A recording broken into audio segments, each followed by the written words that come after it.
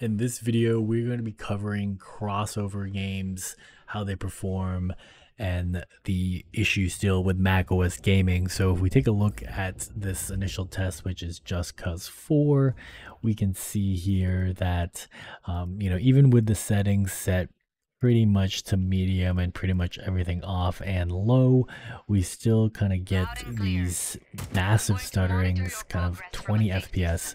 So one thing you'll see from not just my content, but anyone reviewing crossovers content is that you have very limited um, ability to show Steam overlay, which is the easiest way to show FPS. So in these games where it's not supported, you could really see that kind of the gameplay footage um, is probably around, I would estimate it's like 20 to 15 FPS. So even then, I also think the brightness is really low. You can see I tried to turn it up. Um, but overall, I would say, I mean, if you really wanted to play through this game on the Max, um, M1 Max MacBook Pro, you could, but I, I just would rather do GeForce Now or something to that effect because um, this is barely playable.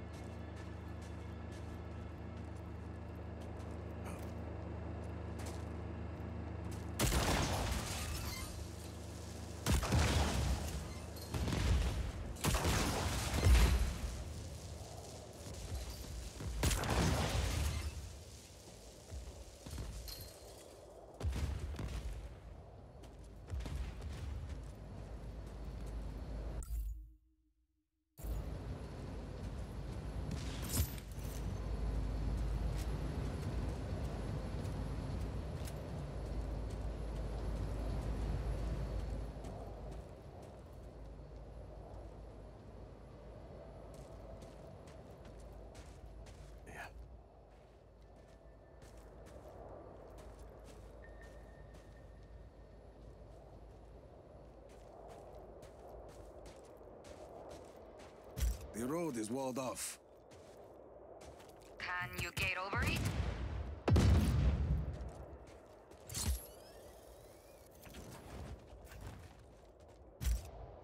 Okay. Where to now? Those lights across the valley? Head towards them. That's a big tower. Espinosa promises it will change the world. No more tornadoes or hurricanes. And most of Solis believes him. Project Illapa won't be a problem after today, Mira. If your plan works. It will work.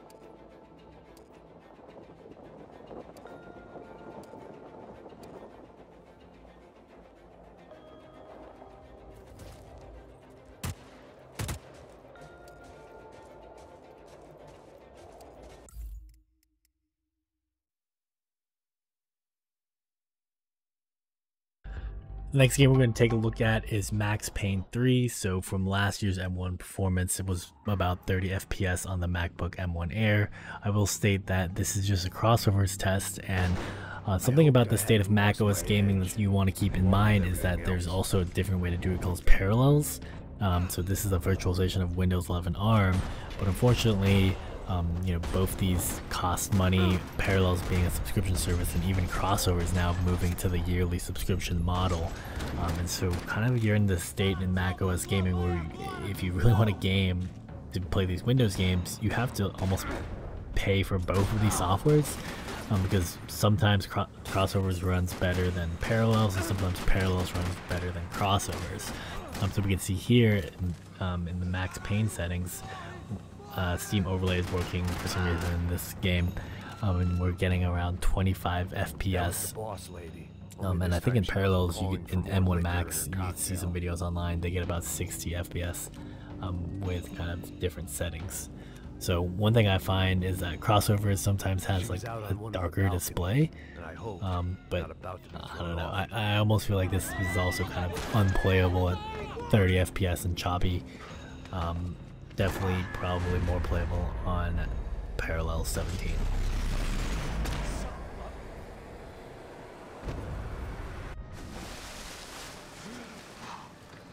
Tranquila! Tranquila! Nós cuidamos disso. Nice work. Hey, you need a hand? No, you? Where the hell's Rodrigo? I don't know, man. Thanks. Somebody's gotta go find him. Está tudo sob controle agora. Fica tranquilo.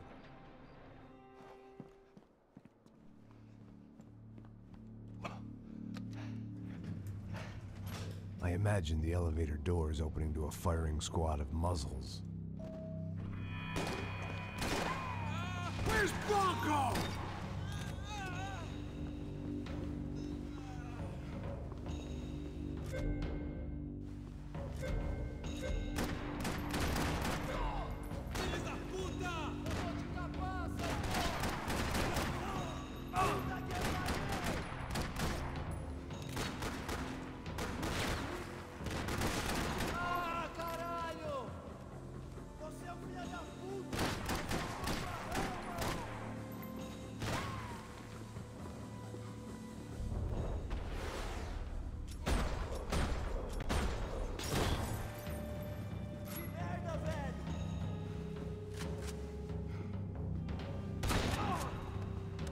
Had to keep moving. I didn't want to fuck this up more than I already had.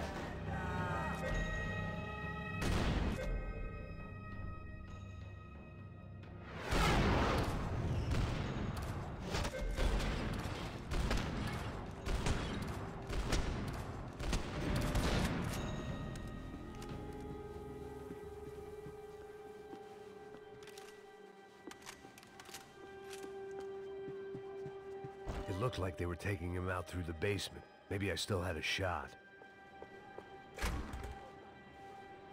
Rodrigo was too rich a prize.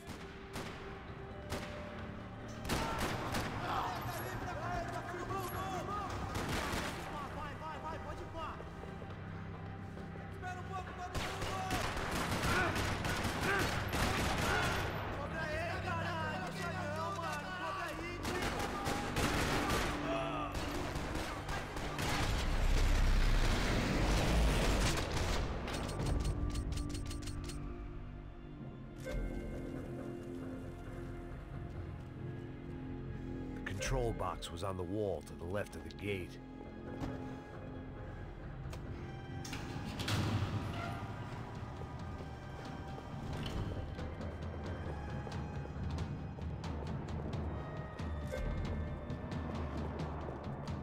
The great thing about being famous as well as rich is the bad guys know who to kidnap.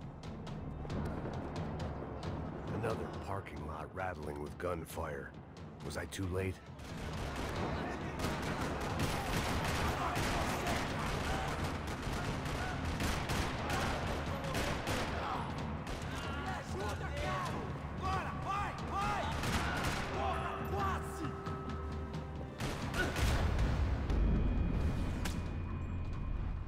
Next game we check out is Crysis Remastered. So here's some of the settings I did, which is pretty much tried to bump most graphic settings to Can It Run Crysis, which is the highest setting.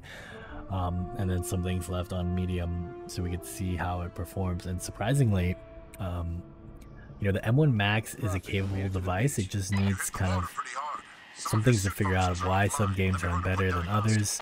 Because you definitely see here from the external camera that you know we're probably getting around 45 to 60 FPS during this whole gameplay footage. Um, Still no word from So definitely a cool aspect is yes, this game can run on um, and it can run Crysis and some of these settings bump to the highest settings that they could go. Um, so this game, I would say, you could probably play through this whole campaign on the M1 Max.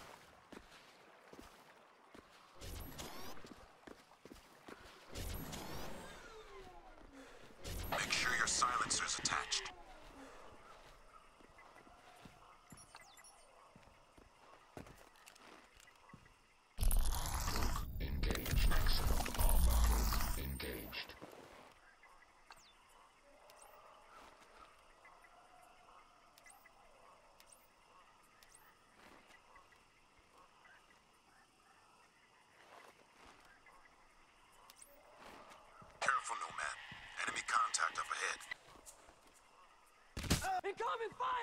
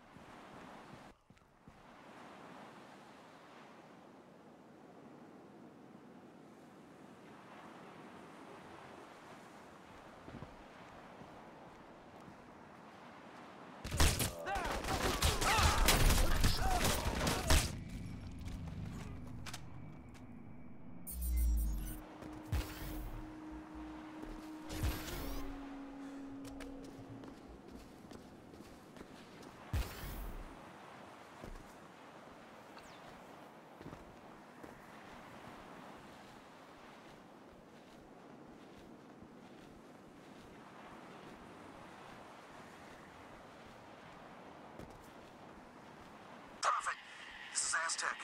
You copy? I read you. Give a sit rep. Something took a swipe at me on the way down. Uh, I'm caught up in the trees. Okay, Aztec. Hang tight. Help's on the way.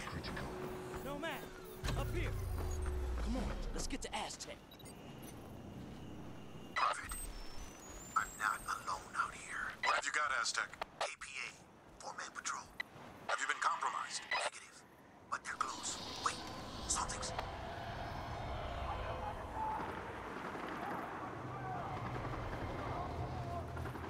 Talk to me. Padre Santísima! Aztec, sound off now!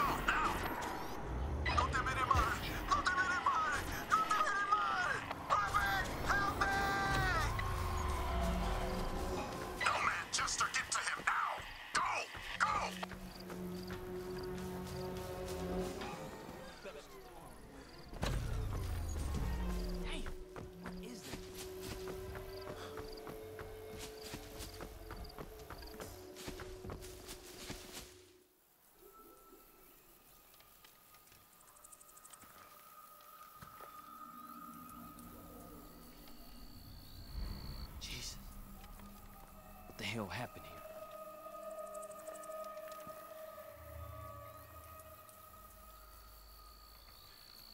You hear that?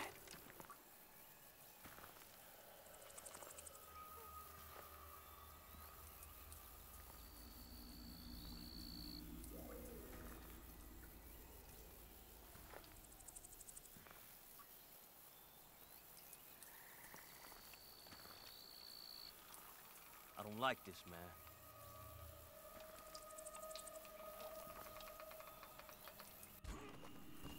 Jester, take care of his equipment and cover our tracks. Nomad, move out to the LZ. Got it, boss.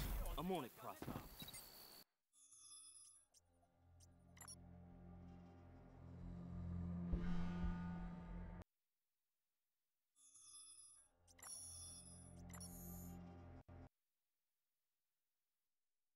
But lastly, what we're going to see here is that, um, you know, of the other games that I was testing, such as Bioshock Infinite, this runs on parallels, but on this crossovers version, um, you know, this is just the state of macOS gaming. It's some of these games are going to run better on crossovers, some of them are going to run better on parallels, and you're kind of stuck in this in between place of not knowing which one to um, run. So uh, that is something to kind of consider. If, the, if some people are posting on my comments like, "Hey, they're trying to replace their desktop and stuff like that," like I personally wouldn't do it, um, or at least not sell it. And at least you could parsec into you know remote into your gaming desktop. Um, but like things like Splitgate, which is a Halo clone with portals, really fun game, um, doesn't launch, doesn't run the VAC, um, which is the anti cheat, so you'll get an error running there and then other games just simply don't load, such as Warface. Um, so kind of that interface, which is also built on the Crytek engine. So yeah, definitely some compatibility issues here. So to wrap up on my take, I would say that you know, depending on who you are for this device, if you it's it is primarily geared towards having really good performance on Final Cut or even DaVinci Resolve.